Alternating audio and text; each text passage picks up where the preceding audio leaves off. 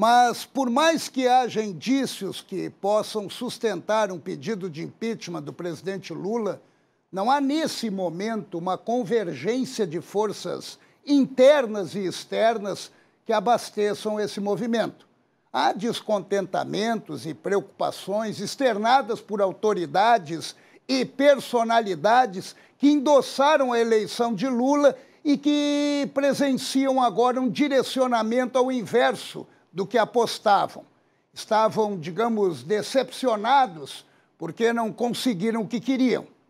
Lula nunca escondeu em suas aparições de campanha o que faria e o que fará.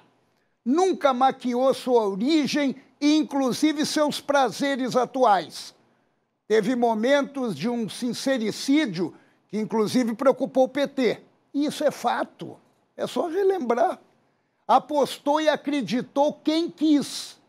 E foi, inclusive, protegido durante a campanha. Lula está sendo transparente. Só que para. Só para citar um exemplo mais atual, colocou à disposição o BNDES, sustentado pelo Fundo de Amparo ao Trabalhador Brasileiro, aos seus companheiros latino-americanos. Disse que faria e está fazendo.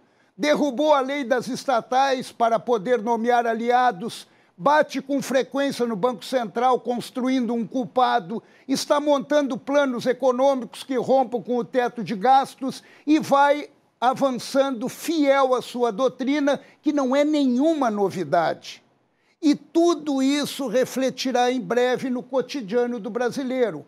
A partir daí, quem vai ditar o futuro do presidente Lula no Planalto é a economia, estabelecida por ele, e não por movimentos antecipados de parlamentares que não deixam de exercer o papel de opositores, provocando reflexões e colocando circunstâncias eh, preocupantes em debate antecipado.